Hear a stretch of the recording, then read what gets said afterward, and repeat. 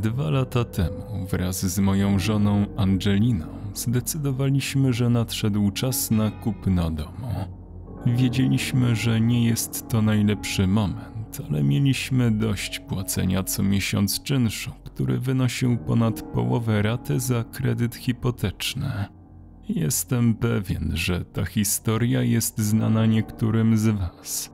Przeszliśmy przez każdy etap niedowierzania, gniewu i wreszcie apatii po tym, jak każda złożona przez nas konkurencyjna oferta kupna domu zostawała zdmuchnięta przez międzynarodową korporację inwestycyjną. Nie jestem już zły z powodu tego stanu rzeczy, chociaż ten pozostawił mnie z pytaniem, dokąd zmierza społeczeństwo. Miałem wiele myśli typu Jakim cudem to jest legalne? Poszedłem do szkoły, spłaciłem dług, mam dobrą pracę i wykształcenie. Zrobiłem wszystko, żeby kupić dom w pieprzonym mieście, w którym dorastałem. Być może pozostała we mnie jeszcze część tej złości.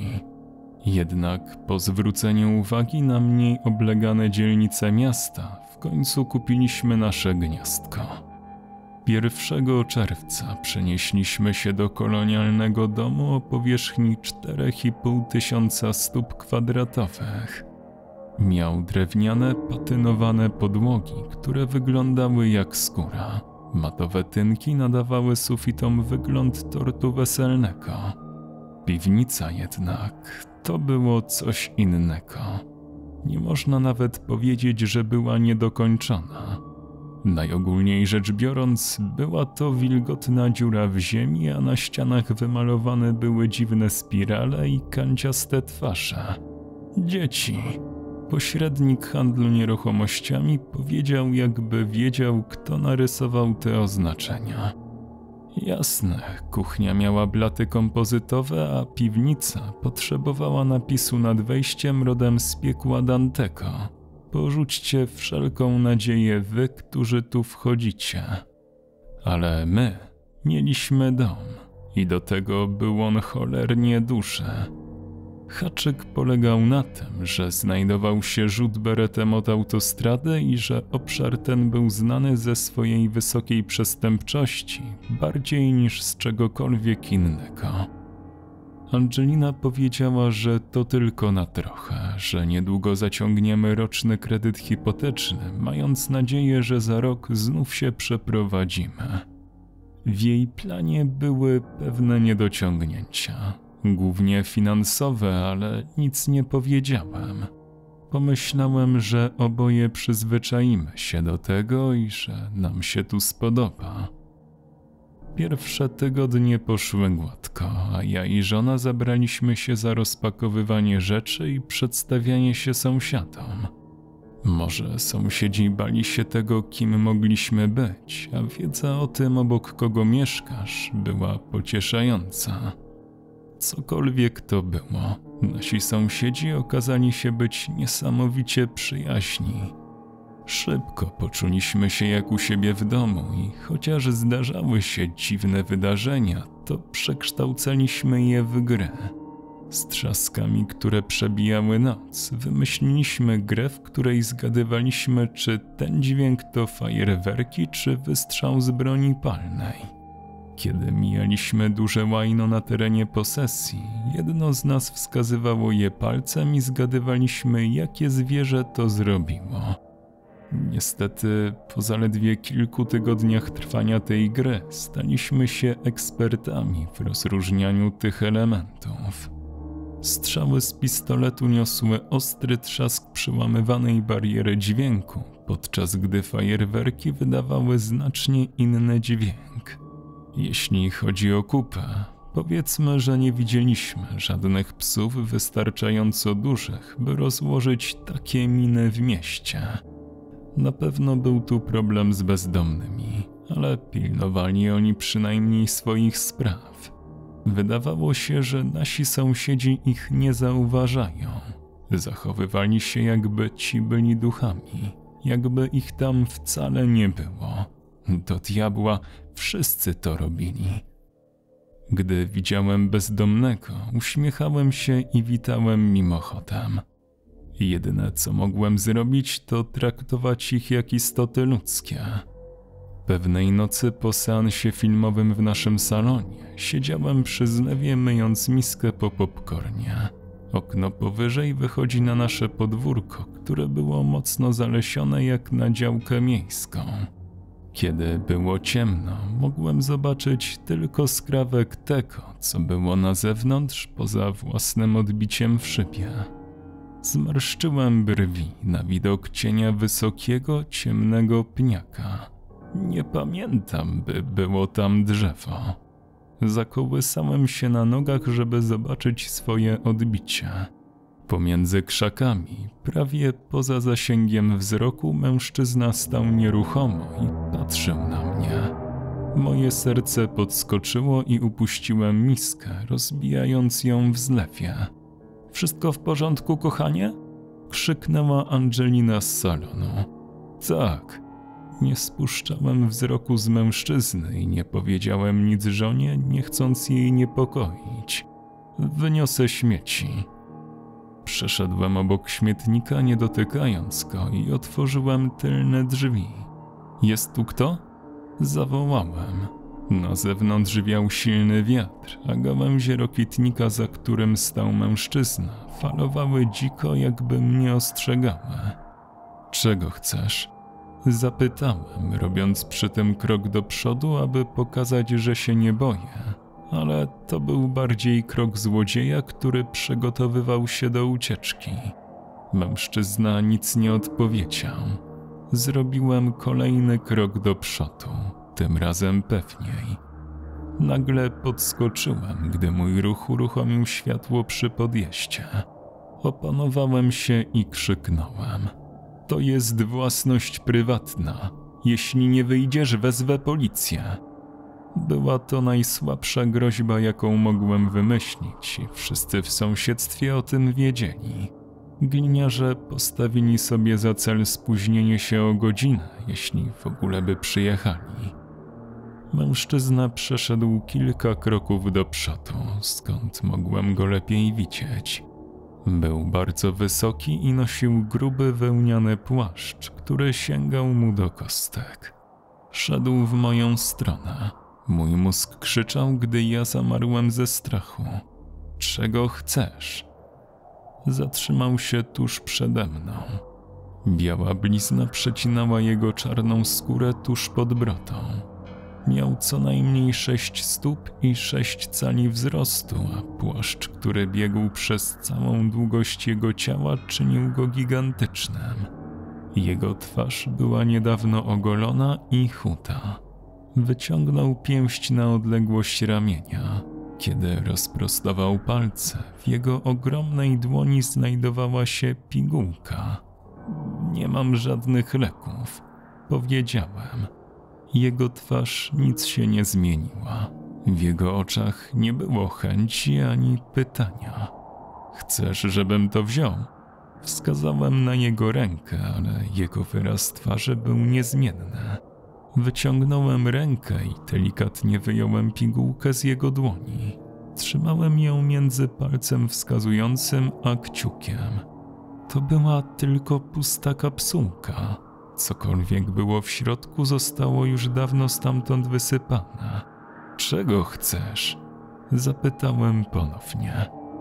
Otworzył usta, ukazując odcięty kikut języka, a potem rozszerzył ogromne białka oczu. Zaczął coś mówić, ale ponieważ nie miał języka, nie mogłem powiedzieć co.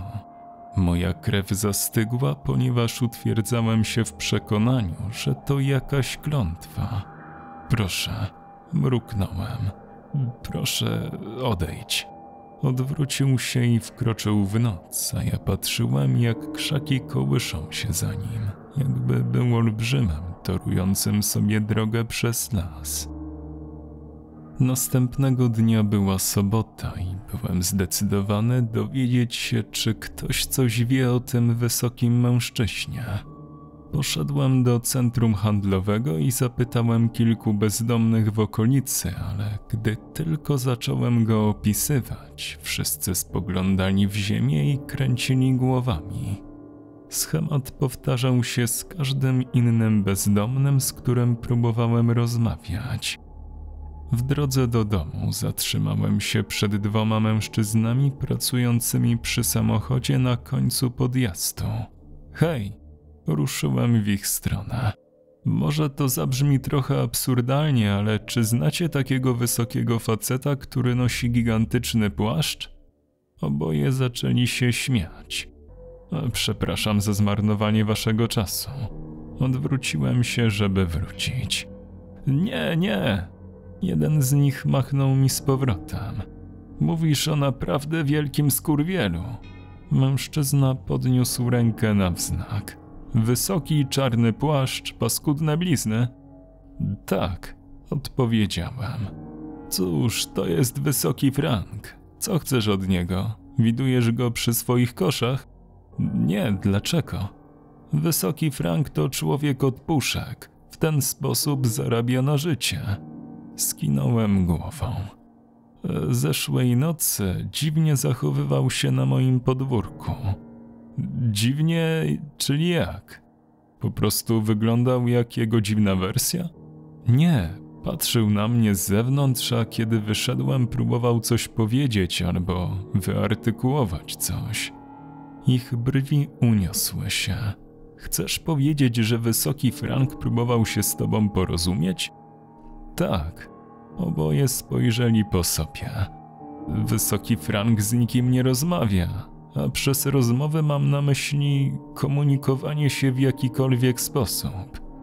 Wyciął sobie język, żeby nigdy więcej nie mówić. Drugi z nich się odezwał. To tylko plotka. Wysoki Frank pojawił się w tej okolicy 20 lat temu. Nikt nie wie skąd się wziął, a on nie może niczego powiedzieć. Tak, ludzie opatrzyli te blizny różnymi legendami. Niektórzy twierdzą, że to pies go ugryzł, ale nigdy nie widziałem psa, który odciąłby ci język. Jeśli nie komunikuje się z nikim, to dlaczego ma na imię Wysoki Frank? Hmm, cóż, tak nazwałaby go moja mama. Pochylił się bliżej mnie. Mówiła mi, żebym uważał na język, bo wysoki Frank go weźmie. Zaśmiał się do siebie. Jak myślisz, czego ode mnie chciał? Oboje wzruszyli ramionami. Bladego pojęcia nie mam, ale pamiętaj, żeby nam powiedzieć, kiedy się czegoś dowiesz. Wrócili do swojej pracy, a ja im podziękowałem i poszedłem dalej o wiele mniej pewny siebie niż wtedy, gdy wyruszałem z domu po raz pierwszy.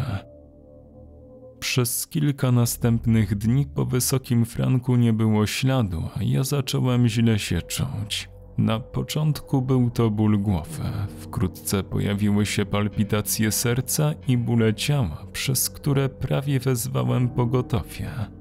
Zapewniałem siebie, że nie ma czegoś takiego jak klątwa dlaczego pozwoliłem, by jedno dziwne spotkanie z bezdomnym zdominowało każdą moją myśl.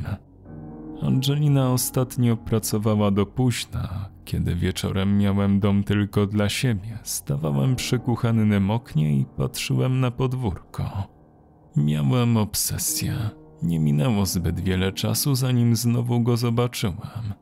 Byłem owinięty w koc, napełniając imbryk przy zlewie, kiedy zobaczyłem go stojącego w tym samym miejscu co poprzednio. Upuściłem garnek i pobiegłem do tylnych drzwi. Hej! krzyknąłem. Byłem w stanie upojenia alkoholowego, w którym twój strach prawie do ciebie nie przemawia. Pobiegłem do niego przez podwórko. Czego ode mnie chcesz? Wysoki Frank popatrzył na mnie. Wskazał, żebym poszedł za nim. Spojrzałem wymownie na swoje bosy stopy, ale on już szedł. Hej, po prostu zostaw nas w spokoju. Ostrożnie jednak poszedłem za nim. Kiedy minąłem krzaki, z których widziałem alejkę, zobaczyłem go stojącego obok śmietników. Pobiegłem za nim. Ty, Nie chcę cię tu więcej widzieć. Z naszą różnicą wzrostu i kocem owiniętym wokół moich ramion, jestem pewien, że wyglądałem dla niego jak rozzłoszczony hobbit. Z pewnością nie zachowywał się w sposób delikatny i nie mogę go za to winić. Wysoki Frank przeszedł przez alejkę i usiadł na rozpadającym się murze oporowym. Delikatnie postukał ręką w kamień obok siebie, tak żebym usiadł. Ja tu nie usiądę. Krzyknąłem, powoli denerwując się coraz bardziej na tą absurdalną sytuację. Sięgnął po coś do kieszeni na piersi i zatrzymał się, zanim wyciągnął kopertę. Potem włożył list do drugiej ręki. Ponownie sięgnął i wyciągnął kolejną. Co to jest? Zapytałem zdziwiony. Wyciągnął do mnie kopertę. Jego długie ramię przebijało prawie całą alejkę. Ostrożnie podszedłem do listów, chwytając je i cofając się, jak zwierzę zyskujące zaufanie. Co to jest? Mruknąłem już zdezorientowany. Obie były otwarte. Wyjąłem papiery z jednej z kopert. Był to odręcznie napisany list. Cały atrament był rozmazany, jakby zanurzono go w wodzie, ale nadal mogłem go odczytać, choć powoli. Kiedy skończyłem czytać, opuściłem ramię i z niedowierzaniem wpatrywałem się w wysokiego Franka. Angelina miała faceta. Spojrzałem na drugą kopertę i prawie nie musiałem jej czytać, żeby to rozkreść. Nagłówek brzmiał: Ubezpieczenie na życie Atlantic. Otwarto polisę na moje nazwisko na ćwierć miliona dolarów. Zgiąłem się na murku, po czym usiadłem. Tabletki. Pomyślałem o pustej kapsułce, którą mi pokazał, a którą wcześniej odrzuciłem. To był mój awaryjny albuterol. To musiał być on. Szybkie wyszukiwanie w internecie wykazało, że przedawkowanie zaczyna się od takich objawów jak ból głowy i palpitacja serca. Moja żona próbuje mnie zabić? Nagle zdałem sobie sprawę, że obejmuje mnie ramię wysokiego Franka, który po ojcowsku klepie mnie po ramieniu. Siedzieliśmy tam w milczeniu przez długi czas. To są rzeczy, których możesz się nauczyć od ludzi zajmujących się recyklingiem śmieci, nie? Zapytałem. Wysoki Frank skinął głową i patrzyliśmy, jak zapala się światło na piętrze, a w oknie pojawia się moja żona. Obróciła coś w palcach, a potem stuknęła w kubek. Minutę później usłyszałem otwieranie tylnych drzwi. Kochanie, jesteś tutaj? Angelina zawołała. Zrobiłam ci herbatę. Myślę, że bezdomni wokół nie zawsze chcą drapnech. Czasami mogą chcieć uratować ci życie. Autor opowiadania Mister Frontenac. Tłumaczenie i opracowanie Kwadrates. Osoby wspierające powstawanie nowych treści to Kalusia, Syrenka Ladacznica, Brutal Drop, Sebastian Król, Gregorikos, Mateusz Z, Wiktor Walczak, Alastor, Wojti 262, Milki Rainbow, Tomasz Kowalewski, Krzysztof Kozak-Ślęsak, Stary Trześwe, Creepy Bunny, Magiczna Basia, Tommy Lee Jones, Dominik Polak, Adam Janasek, Mrs. Line 97, Adrian Masłowski oraz Iguro Obanaj. Do usłyszenia.